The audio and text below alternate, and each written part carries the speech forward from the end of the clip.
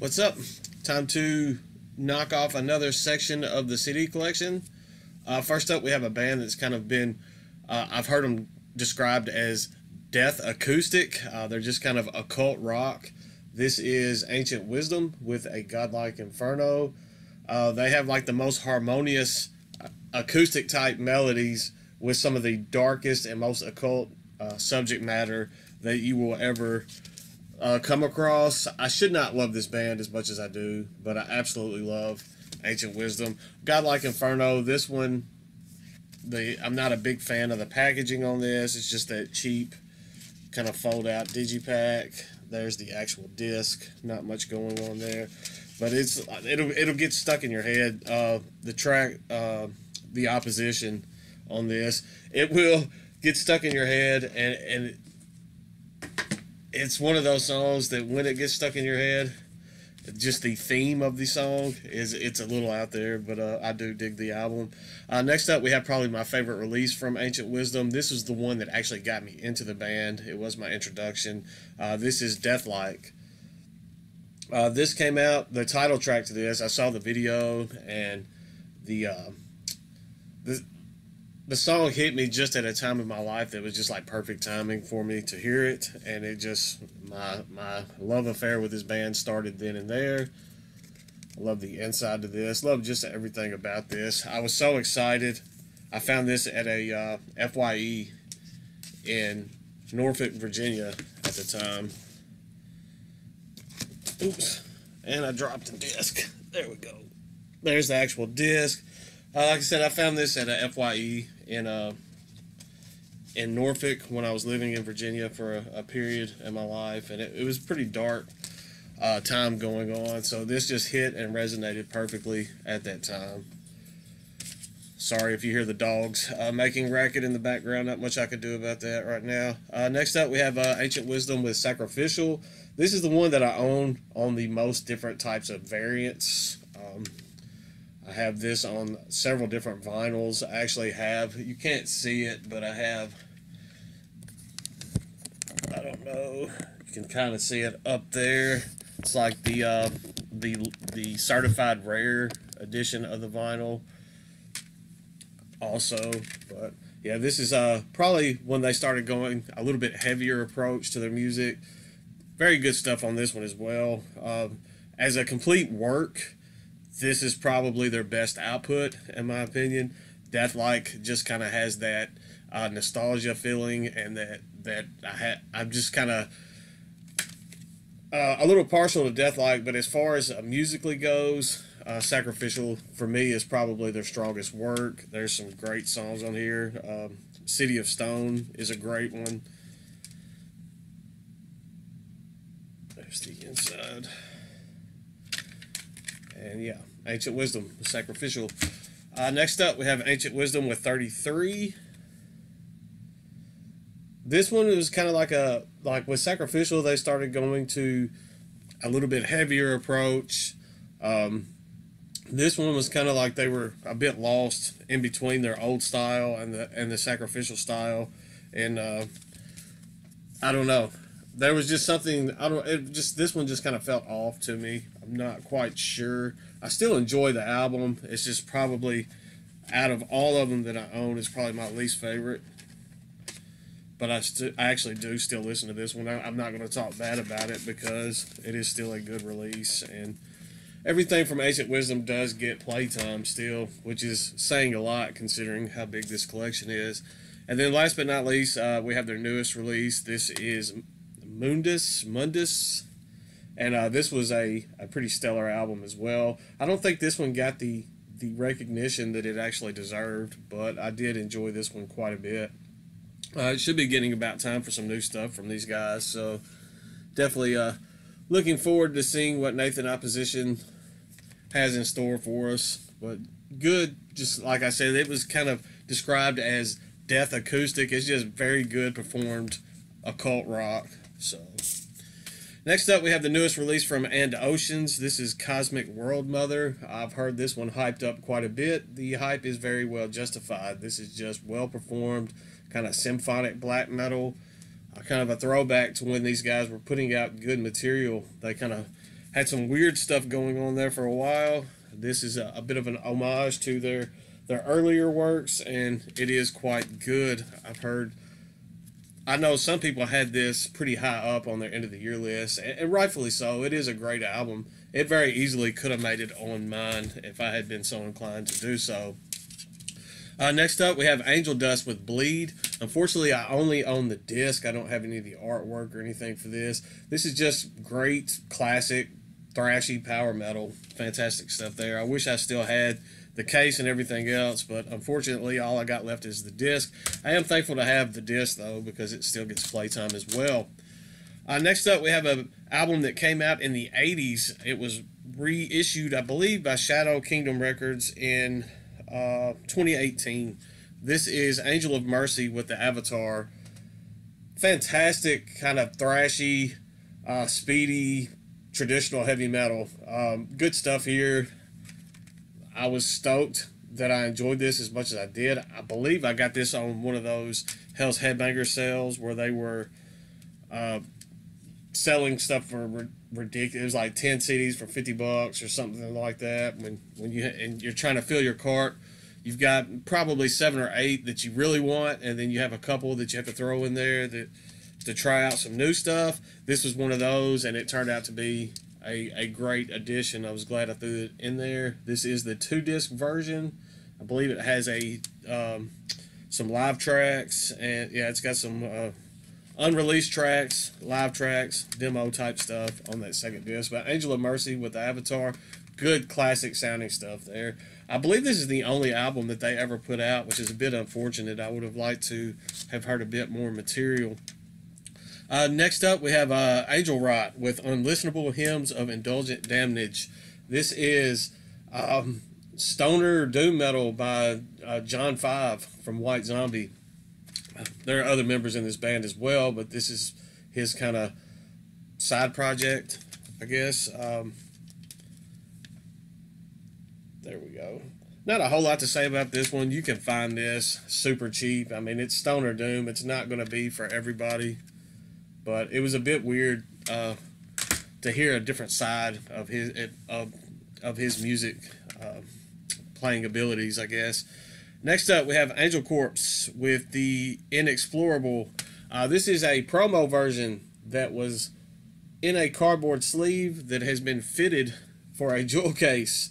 I got this super cheap. I got this for a couple bucks, so I didn't mind it being cut up as far as the cardboard goes because the music is all intact. The disc was in good shape, and I do prefer jewel cases anyway. There you see Helmkamp on the back. But yeah, Angel Corpse. I don't have to really say much about Angel Corpse. We all know that they what kind of band Angel Corpse are. Uh, we have more Angel Corpse. This is of Lucifer and Lightning. Just more black and death metal. Uh, fantastic stuff here. A bit more polished on this album than some of their early, other works. Uh, it just seems like this one has a, a crisper production value. There we go. Next up, we have uh, I got this out of a I believe it was the Bridge Nine Records grab bag that I did last year. I, I don't remember much about this this this release at all. I, a little while into that grab bag, it was beginning a bit monotonous listening to this stuff because it was all just kind of run of the mill hardcore, um, a genre where a lot of stuff sounds almost identical anyway. Uh, this is Anger Regiment with Aces and Eights and I just I don't know I don't remember much about it. It it doesn't ring any bells as as of leaving a pleasant taste in my mouth. It's something that I will have to revisit if once that uh it doesn't happen often, but when that hardcore kind of uh, itch surfaces, I may pull this off and give it another visit just to kind of give it a chance to redeem itself in my mind. But a lot of that Bridge Nine stuff sounded almost identical. It was just to the point where it was just so monotonous and redundant that I, I just had to take a break from it. Uh, next up, we have some fantastic, excuse me, throat's. Some fantastic death metal. Um, I got this from uh, in a metalhead box. It was probably been a couple years ago now. Uh, this is Angerot with the Splendid Iniquity. This is very very heavy almost it's not it teeters on the line of brutal it teeters on the line of technical at times it's just well performed fast paced amazing death metal uh, they put out another album last year i have not had the chance to check that one out yet but i definitely want to uh, this was released on black market metal there for a while I was finding so much great material material through uh, black market metal and I just haven't he- heard much from them as of late. I don't know if it has to do with the pandemic or what, but we have uh, Angerot, fantastic release there. Definitely check that one out if you're into death metal and you have not done so. Uh, next up, we have some brutal death metal I believe, Malaysia, and this one's a bit obscure. Uh, this is a demo that came out, I'm going to say in 2003, and there's not a whole lot to this. Uh, this is Anguish with mass mis- mass dismemberment. It's just in this little jacket inside of a plastic sleeve. The disc itself is just a CDR, just a plain CDR. And there's the inside. This is actually really good brutal death metal. I believe um, Anguish has put out some other material as well. It's kind of grindcore ish uh, brutal death. Good stuff here. I, I don't remember where I got this, and it, it's very obscure it's probably hard to come by now being such an old demo and they're not I'm, I'm sure that these didn't stand the test of time just because there's not much to it but i am glad to have that in the collection uh, next up we have a, a band it's a black metal mixed with brutal death metal and they uh, tend to have the longest album titles ridiculously long album titles of all time it, it, it's insane uh, this is anima damnata with this is atrocious disfigurement of the Redeemer's corpse at the graveyard of humanity. Yeah.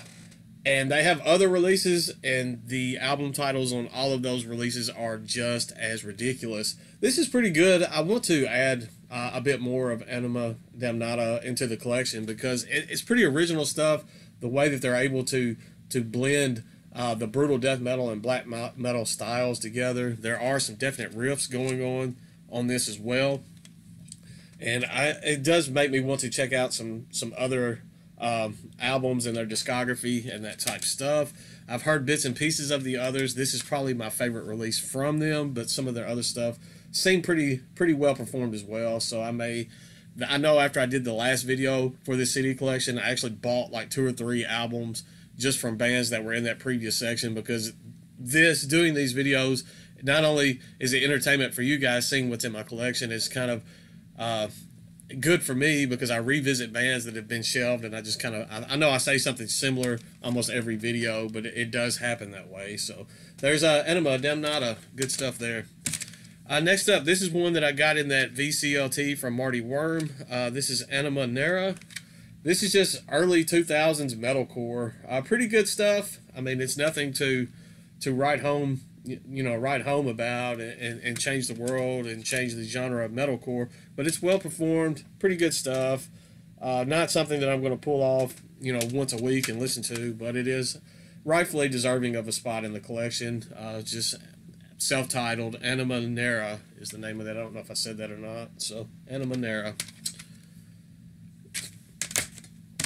Next up, we have some brutal death metal mixed with grindcore. I got this out of that huge uh, Severed Records 100 CD grab bag that I did. This one was one that was actually memorable and uh, pretty good stuff here. This is Animals Killing People with Eat Your Murder. I dug this one quite a bit. It was a very fun listen. I mean, a lot of that stuff, as I was saying earlier about like kind of like the Bridge Nine Records grab bag, that Severed, record, severed uh, Records grab bag got monotonous as well. 100 CDs and and so many of those brutal death metal bands uh, sound so similar. It could get, I mean, it can get overwhelming. It can burn you out if you're not careful. Luckily, I have enough variety in the collection. When that starts happening, I could just switch over to something else. But this one actually, this one was memorable. I did dig this one quite a bit. I know when I did the video, some people were telling me that I was going to enjoy this one, and I absolutely did. So there we go. Animals killing people with uh, Eat Your Murder. Next up, we have uh, a split. This one is Animals Killing People uh, mixed and versus uh, Andromorphous Relaxia. Rexa, uh, let me try that again. Andromorphi, Andromorphis rexalia. Yeah, there we go. I, I don't remember a whole bunch about this split. I did give it one listen and then just kind of moved on as I was going through that uh, severed stuff. This was also in that uh, that grab bag. I'm usually not the biggest fan of splits. I, I would rather have a band just have a standalone EP or demo, just a shorter thing. So it's just the uh, the at one project standing alone on the split. I get why they do them to kind of uh, increase exposure. It's cheaper to do releases that way when you when you split. You know, have more hands in the pot. But I would much rather. I don't know. I'm just not a. I don't. I don't. I don't know why. I'm just not a huge fan of split albums. Uh, next up, we have some de- depressive black metal. Uh, this is Animus with Hallucinations Ideals. This is the sophomore uh, release from this project. I actually dug this one quite a bit more than their initial output. You can find this album uh, used or secondhand for next to nothing. And I re- if you're into depressive black metal, I definitely uh, at least give it a shot. I dug this quite a bit. Obviously, uh, I liked it enough to pull the trigger and purchase a copy. Their debut album, I didn't quite. I, I just didn't really get it, but this one is uh, pretty good. The uh, the the full album title, like I said, the band name is Animus, but the full album title is Hallucinations, Ideals, Ideals surrounding water, sand, and clouds of dust. So, I think on the spine it just says Ideals, but pretty pretty decent depressive black metal right there. Uh, next up, we have some more black metal. This is Animus Mortis with uh, re- residues from Verb and Flesh. I honestly have no idea how this got in my collection. I do not remember where I got it from. Um, as I was getting these albums ready for this video and kind of stacking them to the side, I came across this one and, and I, I just can't figure out where I got it from. It's pretty good. I gave it a little bit of a listen and immediately uh, refreshed my memory as far as the music came. Just a uh, very riff driven, uh, classic sounding black metal, and I dug it. So, but I, I, just don't remember. I don't remember buying this at all. Um, I don't know if someone sent this to me. I, I, I cannot. I don't know. I'm getting old had a pop up come up on the computer. There we go. Had to clear that off, but we're good now. Uh, next up, we have Annihilator. This is some classic kind of speedy thrash metal. Uh, this is the uh, From the Vault, two from the Vault series. This has Alice in Hell and um, Never Never Never Land. So uh, probably the only two releases that I need personally from Annihilator on one little set here, so I am good as far as uh, Annihilator goes. This was actually a library co- uh, copy. This is from King County Library System. I have no idea where King County Library System is, but they have some awesome stuff in their in their library collection. Apparently, it's two discs as I said, split up. Uh, the only downside to this is it has that that King County uh, Library kind of security tag on there. Uh, it doesn't affect the playability of the disc or anything, but those are impossible to get off. So, and there's no telling how many years those stickers have already been on the disc themselves. So, not even going to try to get those off of there. Uh, next up, we have some deathcore. Uh, this is annotations of an autopsy with two, the reign of darkness. Uh, pretty good, straightforward, almost uh, MySpace era deathcore. Uh, I, I was supposed to see these guys live uh, in Memphis many, many years ago. They ended up having to cancel. This jewel case is broken. I have not listened to this album in ages. There we go. on the bill that I, I, was supposed to see these guys with. I believe I still saw Carnifex and, and some other bands, but I was a bit disappointed that I didn't get to see uh, Annotations of an Autopsy. And then next up, we have uh, World of Sludge. This is their fairly recent EP. I actually have two copies. One is a misprint copy where they have it all, all the files on one track. I believe this one is the the uh, the misprint it just has one single track with all five uh, songs on that one track on that misprint, and then I have the one that's like kind of the corrected version that has them separated. this one had a bit of water damage. I don't know how that happened, as you can see on the booklet, and but I bought these secondhand as well, so it's it's kind of weird what some of you people do with with your uh, stuff in your collections. Uh, next up, we have Anomalous with uh, cognitive cognitive dissonance.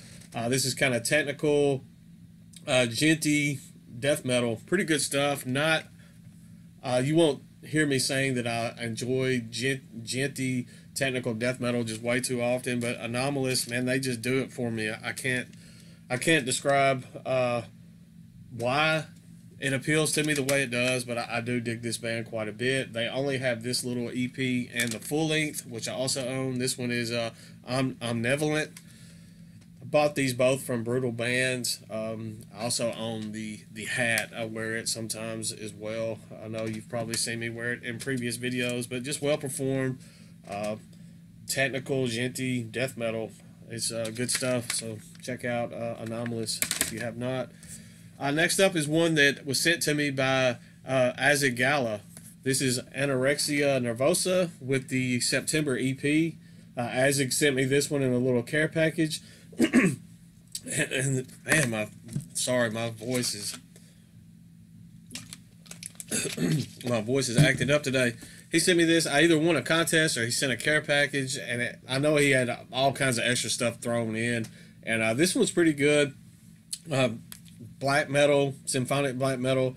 This band started out as death metal and kind of uh, changed gears a little bit. And I tend to enjoy their latter material a bit more as far as stuff in their discography. So this is probably their newest release that they put out as far as uh, as far as I can remember. So I was stoked to get this one in that little package. So appreciate that one, Azik.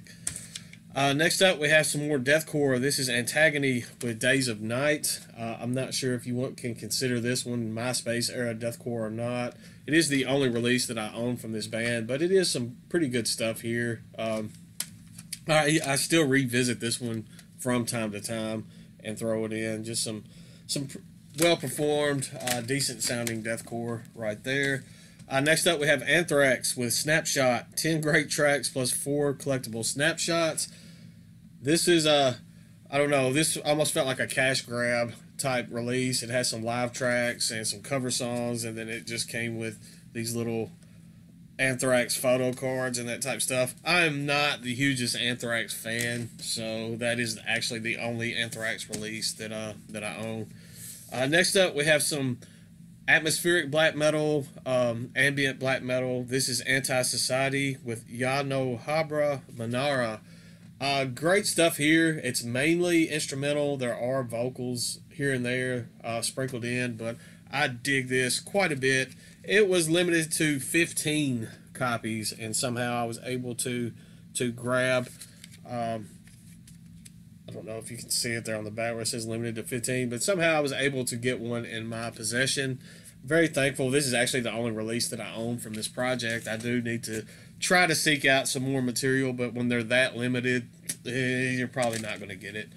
The last three that I'm going to show, this video is going on a little longer than what I usually do with these, is uh, some more uh, death metal mixed with grindcore, a bit of technicality going on. Seems like this band's albums are in every grab bag that I buy. I would have lost money on the last uh, Relapse Records grab bag because I was willing to bet that there was going to be at least one album from this from this project in there, and there was not for a change. Uh, this is Antigama. First up, this is Resonance. This is probably my favorite release from Antigama, and you can find this. People uh, cannot give this album away, and I don't understand. This is just great stuff. I, I dig it quite a bit, but it's funny to me how many times I have received this in care packages. I've received this in grab bags. It's just people cannot give this album away enough. I don't know if that's just a testament to how garbage my personal taste are, but I dig this album quite a bit. Next up, we have more Antigama. Uh, this is probably my least favorite album in their discography. This is Warning. Uh, not terrible, but it's not. It, it's nothing that uh, I, I don't find myself returning to this one very often. It's kind of sandwiched in. As you can see, I still got the little relapse. I think this came in a relapse grab bag at some point. Uh, I listened to it once. Just I don't know. I wasn't feeling this one as much as uh, definitely after as a follow up to Resonance. I, I, just wasn't digging it. And then we have uh, Meteor. This was kind of a bounce back uh, release from Antigama. I, I did dig this one quite a bit. I like the little kind of spacey uh, vibe going on with this one. So it was a definite improvement over Warning for sure. But that's all that I've got for this uh, section. I don't know when I'll do the next. I just kind of do these when I feel like it. But we will continue marching on through the CD collection. Uh, that's all for today. So stay classy.